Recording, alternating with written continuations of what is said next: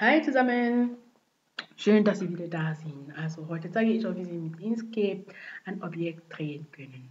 Wir öffnen eine neue Datei und dann kann ich euch einfach zeigen. Und zwar, unsere neue Seite ist schon da. Wir zeichnen zum Beispiel einen Kreis und dann kann ich euch beibringen, wie Sie drehen können. Also unser Kreis ist schon da. Wir können die Farbe ändern, wie Sie schon wissen.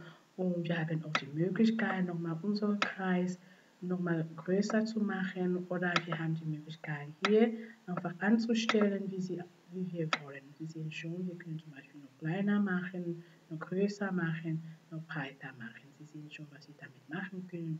Und wenn Sie zum Beispiel das Objekt, also das Objekt ist, was Sie hier sehen, der Kreis, wenn Sie den Kreis drehen wollen, dann haben Sie die Möglichkeit hier oben, also um 90 Grad einfach zu drehen. Und, oder Sie können zum Beispiel nochmal zurückdrehen oder Sie drehen einfach so, wie Sie einfach wollen. Also drehen haben Sie die Möglichkeit da oben.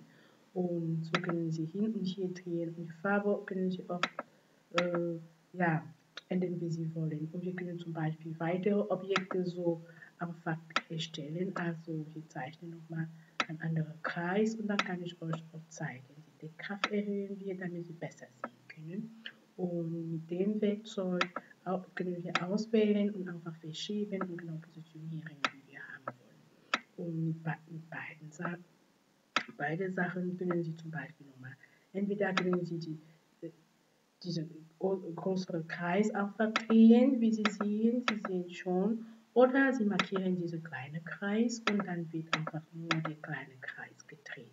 Sie haben auch die Möglichkeit, nochmal entweder das Objekt zu, äh, verstecken oder zu, abzusenken, wie Sie jetzt sehen. Also momentan ist der kleine Kreis ganz hinten und der große Kreis ist vorne und Sie haben auch die Möglichkeit nochmal rüber zu.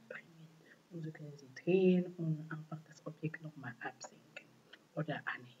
Also, ich freue mich einfach, dieses Video mit euch geteilt zu haben und freue mich auch das nächste Video wieder mit euch zu teilen.